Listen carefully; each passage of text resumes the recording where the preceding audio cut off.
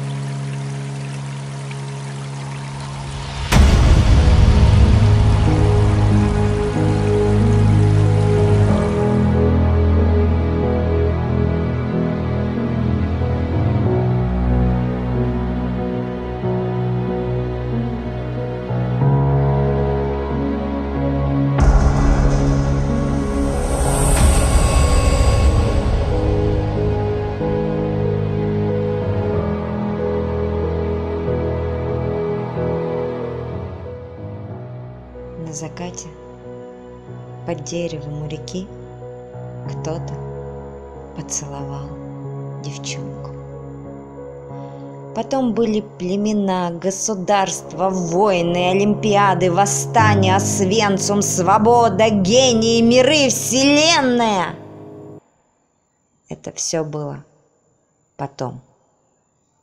Но вначале во Вселенной в одной из галактик, на планете около Солнца, у реки, на закате, под деревом кто-то поцеловал девчонку.